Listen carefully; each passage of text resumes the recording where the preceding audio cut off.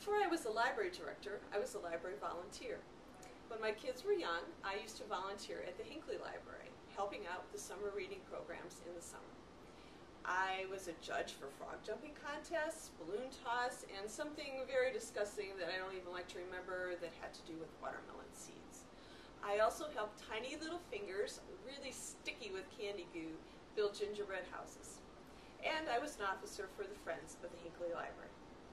As a library director, I know how valuable volunteers are to the library. They assist our staff. They make their jobs easier. They do tasks the staff really have no time to do.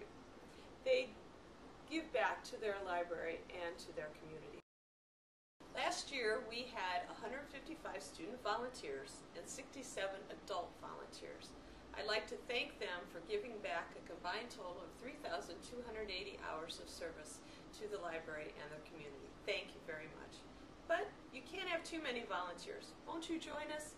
I can promise you a satisfying and rewarding experience.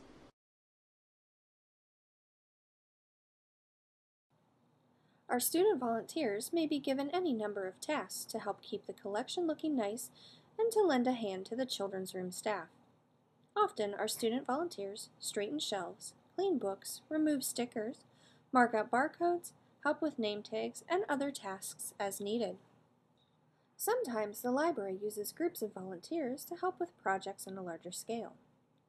The Volunteens at Buckeye Library use students for projects such as creating Valentine door hangers for the library's outreach members, helping to pack up the PJs and books for the Snuggle Up and Read program, or helping at community events, such as the library's booth at the Chocolate Festival. We're so lucky to have student volunteer help at the library. Uh, they do lots of different tasks daily for us that frees up librarians' time so that we can work on program planning, collection maintenance, and spend more time on our reference questions.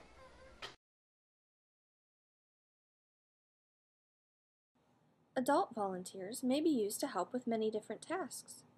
Some common tasks are straightening shelves, desensitizing DVDs, shelving DVDs, cleaning computers, and watering plants.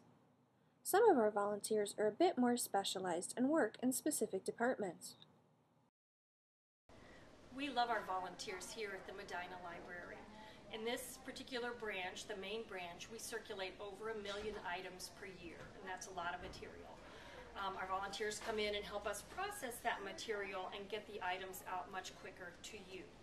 We probably average about 25 crates a day of holds. Our volunteers come in and help us to sort the holds. Um, they help us to uh, sort the material that's been returned and get it back on the floor much quicker.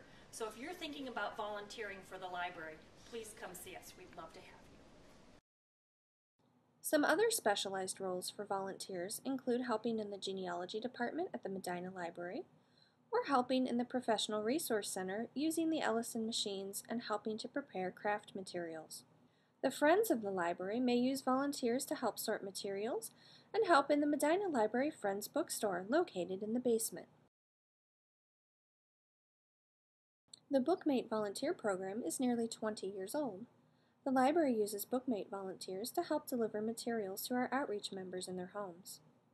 These special volunteers are paired with a member in their area and pick up a bag of materials from the nearest library branch to deliver and visit for a bit. This is a special position and the need may vary by geographical area. I've got to say that um, when I first started doing this, I, I thought, you know, it's going to be, it's, it, it doesn't require a lot of time, but it, it provides a service. And but honestly, I get so much more out of this than I feel like I put in, and and I don't even feel like a volunteer. I feel more like a friend. That's so what I feel. We have become friends. Yes. It started out as is a routine kind of thing, mm -hmm. and it has become something really uh, like I couldn't have ask for something more appropriate and better for my age, and I am locked up in this apartment because I can't see. And I look forward every month to having Carlin come, and it's it's one of the highlights of my life these days. and one of the highlights of mine. I I have to say, I like I said, I enjoy her company so much. I'm John. I started volunteering here in 2007 when I was in sixth grade. I am currently a page here at MCDL. Um, as a children's department volunteer, I would shelf books, I peeled the new label stickers off, I would clean books, um, and now I shelf and organize books. I assist members any way that I can, and I'm learning how to manage magazines. And so the longer that I'm here, I'm sure I'll learn much more.